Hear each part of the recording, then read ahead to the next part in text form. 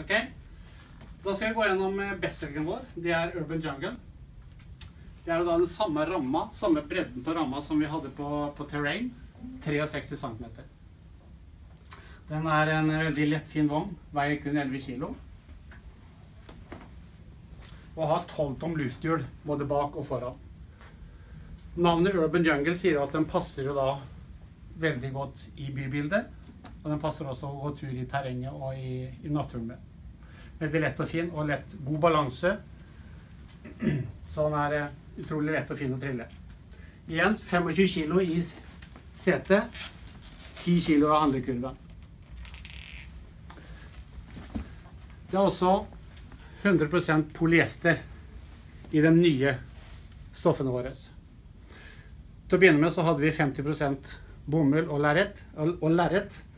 Eh, og det hadde sine utfordringer. Nå har vi skifta alt sammen. Nå er det 100% polyester. Litt grovere tråd, som gjør at det er et annet uttrykk enn den glatte som vi, på, som vi har på terrain. Vi har også satt inn strikker på siden av kalesjen som gjør at den sitter tett og fint inntil ramma. Det er også en klaff her som gjør at det tetter det rommet som da eventuelt var oppe der.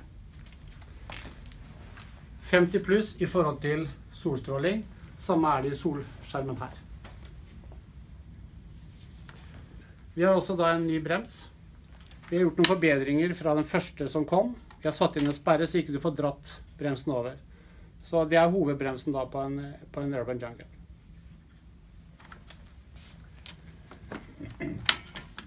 Det er også I forhold til liggestilling så er den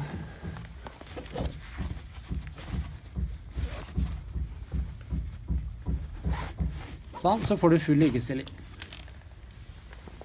Sånn.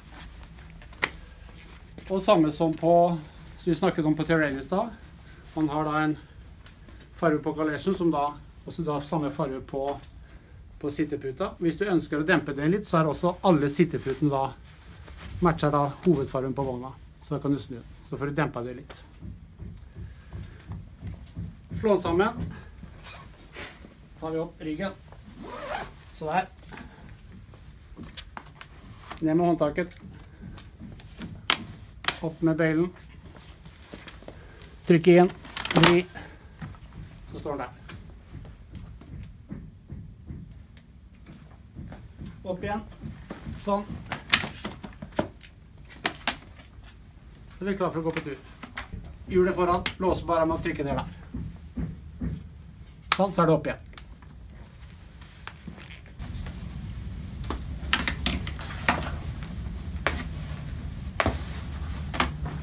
Sånn har kalesjen der.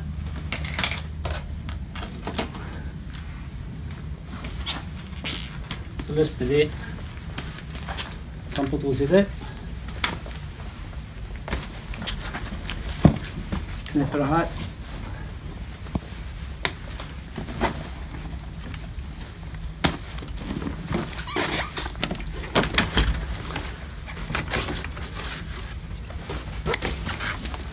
Sånn.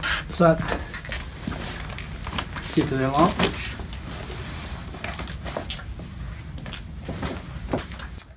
Adapteren til bagen følger med.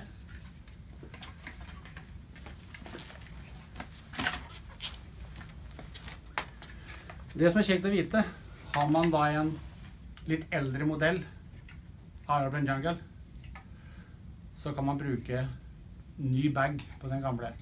Både den gamle og nye er 63 bred, og adapterne følger med bagen. Så det er veldig enkelt.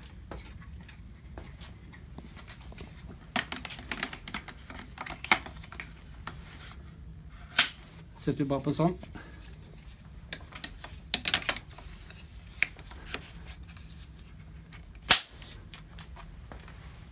Det som er eh, fint med, med bagene våre, både til terrain og, og mountain bag, er jo at man kan da gjøre om til en sånn face-to-face-bit i en liten periode. Når barnet vokser ut av bagen, som er opptil 9 kilo, så har man da muligheter til å bruke den face-to-face-biten opp til 15 kilo.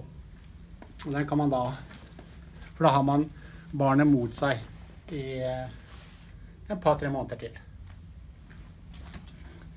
Og det stoffet det følger da med sammen med bagen.